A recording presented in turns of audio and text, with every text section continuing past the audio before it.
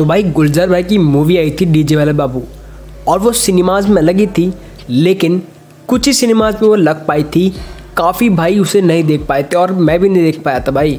तो उसके बाद उस मूवी को चौपाल ऐप पर रिलीज़ करा गया, लेकिन फिर भी काफ़ी भाई उसको नहीं देख पाए, क्योंकि भाई उसको सब्सक्रिप्शन लेना पड़ता है उस ऐप का। तो कई भाई उसको नहीं देख पाए और गुलजार भाई के फ़ैन जो हैं, वो काफ़ी सारे बच्चे भी हैं तो बच्चे भी इस मूवी को नहीं देख पाए थे।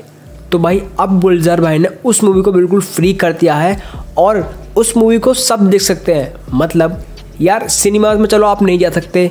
आप फ़ोन में ऐप डाउनलोड करके उसको ख़रीद के नहीं देख सकते, लेकिन टीवी सबके घर में होता है। तो भाई, गुलजार भाई की अब ये मूवी टीवी पर आने वाली है।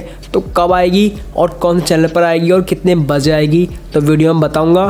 तो एंड तक बनाया ना चैनल पर नया है तो चैनल को सब्सक्राइब करके बेल नोटिफिकेशन ज़रूर ऑन कर लेना। तो चलिए वीडियो को शुरू करते हैं।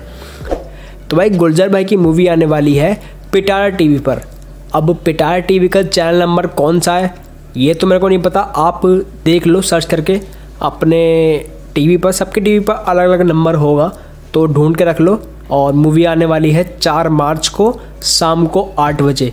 तो भाई सारे भाई तैयार हो जाओ और पूरी फैमिली के साथ बैठ के मूवी देखो, क्योंकि फैमिली फ़िल्म है, कोई दिक्कत नहीं। तो भाई वीडियो में बस इतना ही। बाकी आप लोगों को कोई सवाल हो तो कमेंट में पूछ लेना। जल्दी मिलेंगे एक और नई वीडियो के साथ। तब तक के लिए जय राम जी की।